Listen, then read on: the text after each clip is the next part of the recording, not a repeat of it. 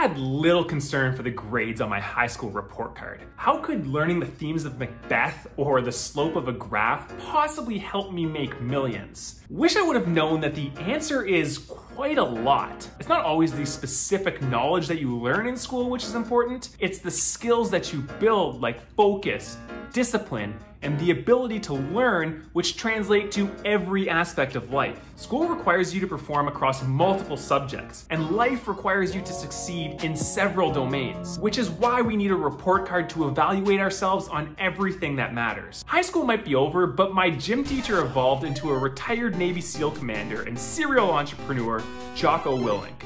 Jocko's new book, The Code, The Evaluation, The Protocols, provides you with a report card for life. I wanna know how well I'm performing on my path to my goals, so today I'm implementing Jocko's evaluation. The evaluation has six different categories, each of which have two to four attributes, 18 total, scored on a scale from zero to five. Just knowing that I'm going to have to evaluate myself at the end of the day is already motivating me to get to work. So it's 9 a.m. on a Sunday and I already feel five hours behind the eight ball time to get after it. First task of the day, done. Moving on to the second. The fact that I know that I have an evaluation at the end of the day is really motivating me to work faster than I normally would, rather than taking time to try to make things perfect. I'm just flying through it, and I don't know that that is having any negative impact on my performance. If anything, I might be helping it. So, task number two, three minutes, do it. Three tasks done for the day. I think normally I would just be taking a little bit of a break here to eat, but since I know that there's an evaluation at the end of the day, I am motivated to keep going onto my fourth task, which is to edit the script that I just finished writing. So we're gonna get to that before maybe eating if I have time to heat something up, because that's gonna be the only way that I have time to fit in everything I need to do today. I'm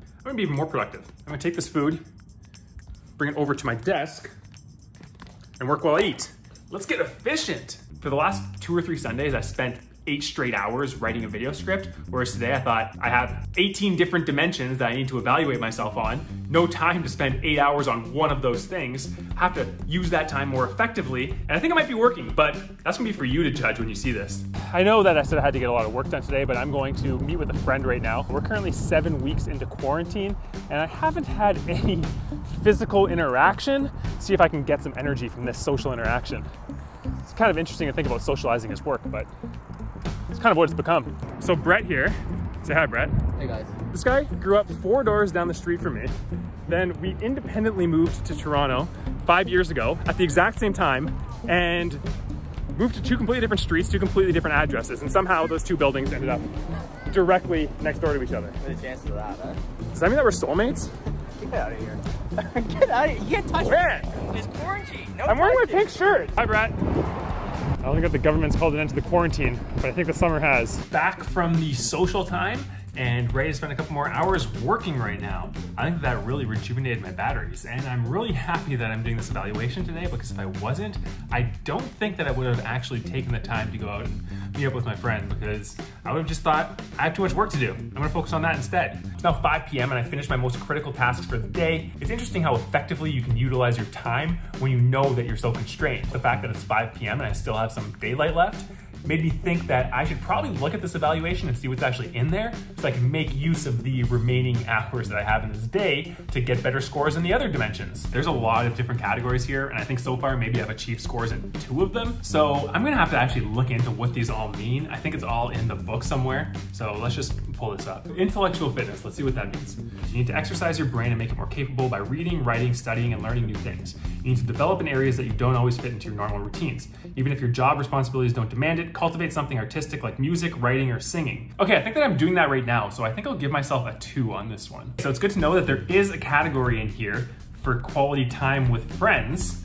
And I did spend some quality time with my friends today. Score one, spent time with important friends, but was distracted and engaged in a limited way. Did not offer full attention or engagement. I think that recording him without his consent might mean that I was somewhat distracted. Hey man. Yo, we're not supposed to touch, man. It's social distancing. But hey, I had to improve my intellectual fitness for the day and my professional development, so gotta make some sacrifices. Spend quality time with family. Well, I did a live stream and my dad asked me a question. Is that quality time? So I wanna get that score up a little bit. Let's try giving my parents a call. Are you on FaceTime? I'm calling you on FaceTime audio. Maybe you can't expect me to figure out stuff. Well, no, I just have to give you a call because I'm making a video right now and it's about this evaluation that I'm going to be performing on myself. It's a report card that evaluates you across 18 different categories. And one of those categories is having a conversation with your family. So I thought I would have to give you a call to do that. Oh, awesome. Well, I'm glad. I'm glad. Yeah. Okay, so I'll talk to you later. Bye.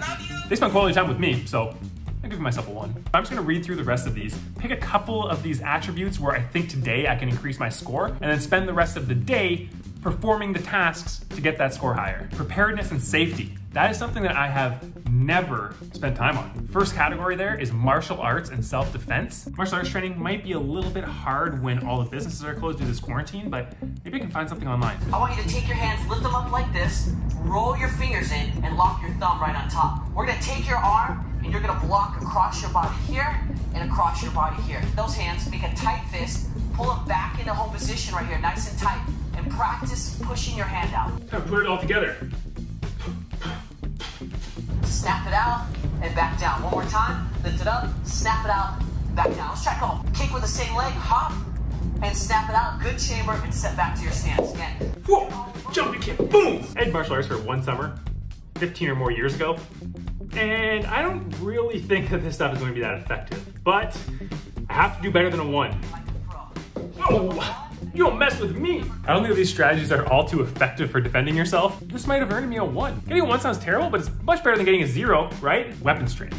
Training with legal weapons in your home and in public that contribute to safety for your community and the people around you. Score zero. Did not weapons train.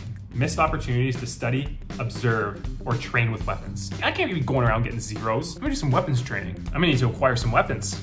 Weapon acquired.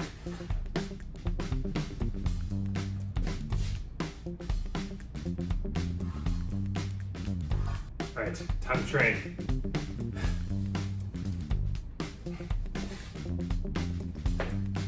Count weapons training?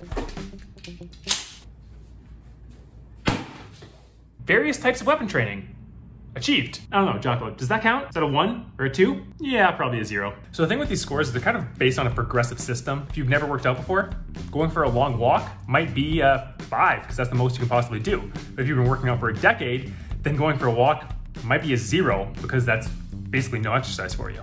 So even the uh, minimal amount of martial arts training and weapons training that I did, I think it earned me a one for today. But within a week, what I did today would be considered a zero. Sun's gonna be going down soon. I'm gonna go get the best workout I can possibly get given the circumstances that we're under and see what other scores I can bump up. Maybe try to organize some community safety and impact event.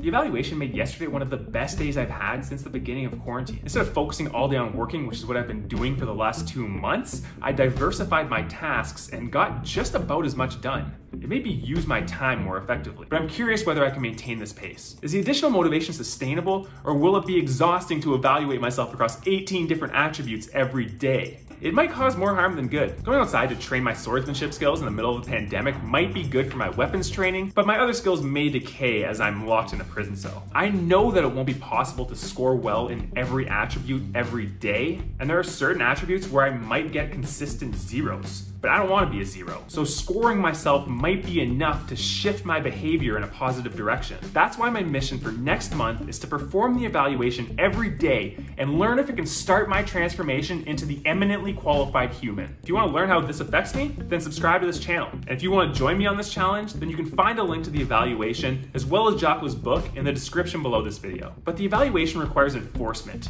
You need to build the habit of completing it every day. It's not a one-time fix, it's an everyday gig, which is why I recommend starting this with a friend, family member, roommate, anyone who can help hold you accountable. Life is teaching me that the time is never right, so the right time is always now. If you want help implementing this or any other fitness program, then let me know in the comments and I can give you a hand. Thank you all for watching, and there's no more appropriate way for me to sign off on this video than by telling you to get after it.